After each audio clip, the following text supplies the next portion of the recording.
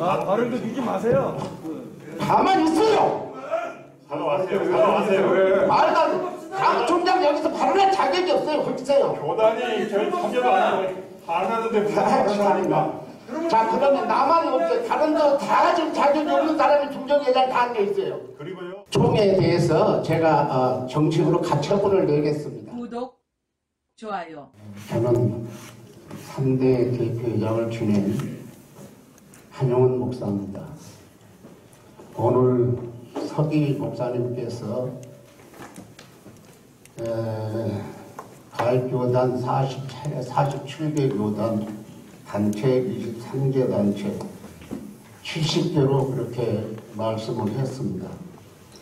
그래서 총 총대 수가 207명인데 오늘 참석 38명, 그 다음에 임 30제 하면서 8명으로 그렇게 해서 104명이 되므로 절반수 126명이어서 성수가 된다고 이렇게 예, 말씀을 했습니다.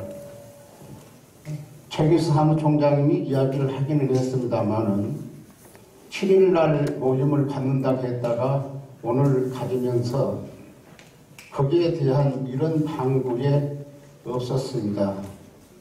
여러분 오신 분들을 알고 계시는지 모르지만 저는 7일날 모임을 갖지 않기로 했으면 오늘 갖는 이유에 대해서 총대에게 말씀을 해 주셔야 되는데 그 이유가 전혀 없었던 것에 대해서 유감으로 생각하고 사무총장이 사과를 할 것이 아니라 의장이 사과를 마땅히 해야 된다고 봅니다. 또 총회록에 나와 있는 거 보면은 임시총회를 네 번이나 했습니다.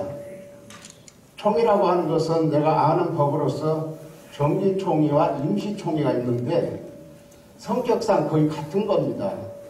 임시총회에서는 의안이 정해진 것만 하게 되어 있는 건데 보게 되면 거의 내 임시총회에서 똑같은 것을 다루었습니다. 또 정기총회가 있는데 10월달 마지막 임시총회 하면서 똑같은 걸 했습니다. 가장 중요한 말씀을 드리겠습니다. 성수가 된다고 하는 것은 맞는지 모르지만 적어도 사단법이라고 하게 되면은 오늘 의결된 모든 의안까지 동의를 받아야 되는 겁니다. 그리고 문자로만 예, 총회 소집을 했지 내가 알기로는 테이프를 하지 않았습니다. 요즘은 문자 홍수가 돼가지고 놓쳐버리면은 받을 수가 없어요. 그런 상황 속에서 적어도 종대를 소집할 때는 편지, 공문으로 해서 그것도 등기로 해서 총대를 존중하는 한국교연합이 되어야지 이런 식으로 계속 하게 되면은 아주 죄송한 표현으로 브레이크 고장난 자동차가 가는 것처럼 아까 양배기 목사님 은혜 많이 받았어요? 세 가지 소리 들으라 그랬는데 맞습니다. 한국교회 연합입니다. 한국교회 연합. 한국교회가 10년 전에 태동하게 될 때에 우리가 잘해보자고 계획해보자고 연합체다운 연합체를 해보자고 했는데 10년 지난 다음에는 이게 제가 죄송할 때는 대표회장을 했다고 하는 것이 부끄러울 정도로 한국교회 연합이 지금 제대로 간 것 같지 않아서 저는 이 총회에 한번 따져보고 싶은 것이 제대로 적법하게 총회가 소집됐냐. 그 말은 문자로 받았는데 위임을 제대로 해서 지금 총회 성수가 됐는지 안 됐는지 그것은 따져봐야 된다고 저는 그렇게 생각해 보고 임시총회에서 네 가지 안건을 다 다뤘는데 임시총회도 적법하게 다루지 않았다고 하게 되면 거기서 가결된 것은 전부 무효입니다. 성수가 되지 않냐고 적법하게 그리고 임시총회도 보니까 장소가 전부 지방입니다. 지방. 전부 지방이기 때문에 의도적으로 한 것인지 좀 죄송한 이야기지만 참석하지 말라고 한 것인지 이건 있어서는 안 된다고 생각해서 저는 이 총회에 대해서 한국교회를 사랑하고 한국교회를 사랑하기 때문에 안 된다고 생각하고 이 총회는 마땅히 지금 다시 따져보고 적법이 아니라고 한다고 하게 되면은 정의를 위해서 해야 되고 또 선거관리위원장에게 좀 물어보겠습니다. 우리가 선거관리위원회에서는 후보가 되어지면은 어떤 후보가 등록이 되었다. 또 소견서도 발표하고 또 말하자면 이제 뭐 해야 되는데 난 여기서 듣는 소리 송태선 목사님이 한 번 더 한다 하더라 그 이상 이하도 들을 수가 없어요. 누가 이 부분을 했는지 누가 이 부분을 안 했는지 오늘 어떤 절차에 의해서 후보가 됐는지 알 수가 없는 대표회장을 저는 개인적으로 차기 대표회장으로 오신다고 하는 것은 아니다. 적법한 절차에 거쳐서 해야 되는 거기 때문에 나는 당연히 오늘 총회는 여기서 정회를 하고 적법했는지 안 했는지를 따져서 이제는 70개 단체, 70개 교회 이 방대한 조직이 이렇게 해가지고는 한국교회에 사실 여러 가지 어려움을 준다고 해서 저는 여기서 정말 정리를 하고 따져보고 여기 지금 보고서에 다 나와 있어요. 명단 다 나와 있어요. 누가 아, 말하자면은 누가 아, 어, 유임을 하고 유임을 할 때는요 법이에요. 그것은 대다수 찬석 유임이 아니라 안건 유임까지 해줘야 그게 여기서 다루는 것이지 어디 없어요. 문자에 보게 되면 내가 이게 전부 지금 예, 문자를 복사를 다 해봤어요. 그런데 문자에 보게 되면은 안건 유임은 없습니다. 찬석 유임만 하는 것이지 다른 단체는 변호사가 정기총회에 와서 전부 말하자면 위패를 합니다. 그래가지고 공중을 하고 나중에 어떤 그 문제가 없기를 하게 되는데 에, 저는 에, 적법 절차에 의해서 총회가 이루어지기를 바라고 적법 절차에서 선거관리위원회에서 차기 대표회장을 이제 뽑도록 하고 저는 한국교회 사랑하고 죄송하지만 여러분들이 어떻게 생각할지만 저는 한국교회 연합을 굉장히 사랑하는 의미에서 앞으로 10년이 됐는데 이런 식으로 어, 소집하고 이런 식으로 결정하고 이런 식으로 선포하고 이런 식으로 하는 정기총회는 안 했으면 좋겠다 그런 바람으로 저이 자리에 서기까지 많이 고민을 했습니다. 많이 생각을 했습니다. 오늘 아침까지 내가 이걸 해야 되나 안 해야 되나 그런데 하, 하나님 주신 사명인 것 같아요.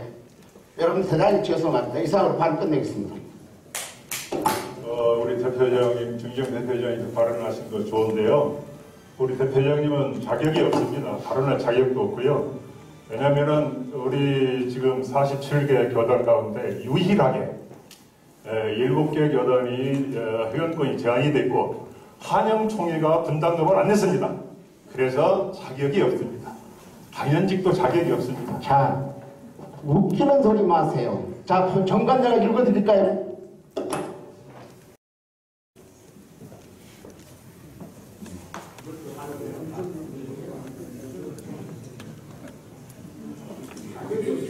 발언권 주시면 안 됩니다.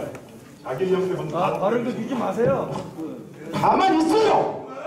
사과하세요. 사과하세요. 말도 당 총장 여기서 발언할 자격이 없어요. 글쎄요. 교단이 저 참여도 안 하고 안 하는데 무슨 발언합니까?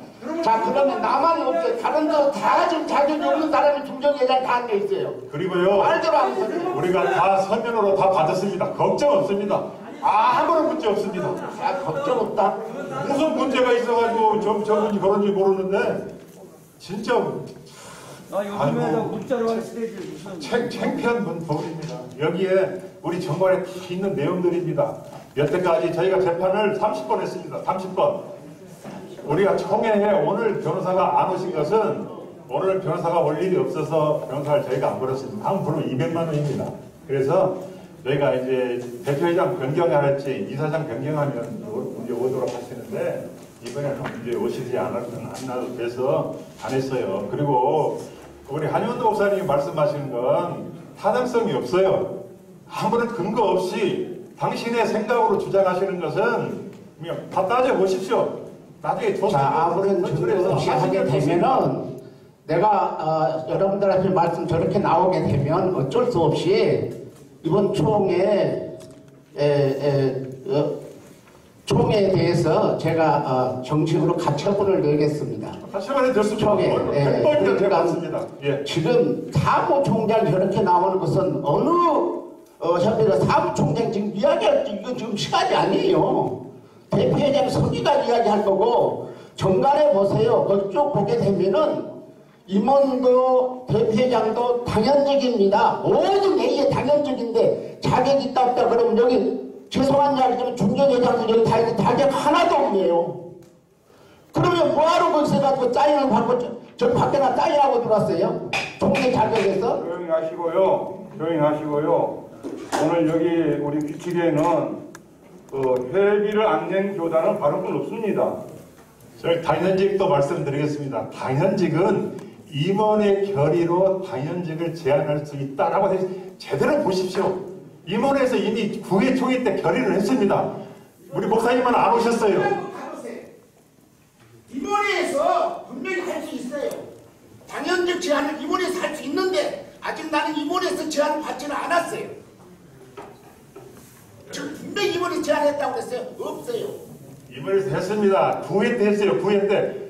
권태진 목사님 때 제가 말씀드리겠습니다. 교단들을 이제 저 제명하면서 반드시 했어요. 자 그럼 선거 관리위원장도 자격이 없네요. 말씀 좀 해보세요. 나가서. 선거 관리위원장님은 단체로 들어오신 분- 분입니다. 그러니까 아무런 문제 없어요.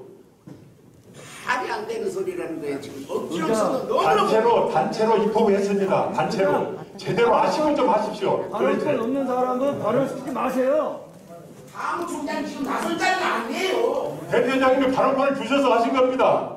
대표장 내 사업에 저 발언권을 줘요. 아니에요. 여기 우리가 이 법을 총회 이렇게 7조나 시행세 측에 봐가지고 회비를 내시지 아니하면 권한이 제한된다고 한 것을 제가 보고를 했습니다. 누구라고 얘기해요? 한영 총리만 안 됐습니다. 교단에서.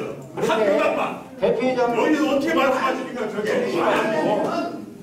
정관을 제하고 정관을 제어버려야지. 아니 한영 한영 정경 대표회장님이 집에서 이걸 1억을 완화하기 위해서 연두해가지고 오셨다고는 말이 안 되잖아요. 지금 여기서 말씀하셨잖아요. 회비도 안 내시고 내가 이것을 대처하기 위해서 이 말씀을 준비해갖고 오셨다는 것은 이해가 안 되는 말이에요. 예. 자, 진행이요, 진행.